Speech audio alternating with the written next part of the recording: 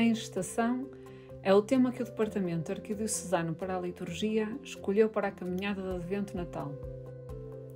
Tendo em conta que o nosso plano pastoral nos propõe como tema Onde há amor nascem gestos, será em gestos concretos que esta proposta se alicerçará.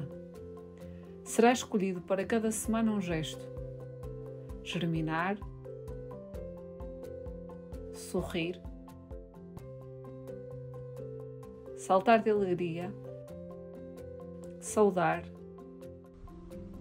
embalar, olhar e escutar, que procurará dar fecundidade a diversos ambientes, a liturgia, a família, a catequese, a escola e a juventude.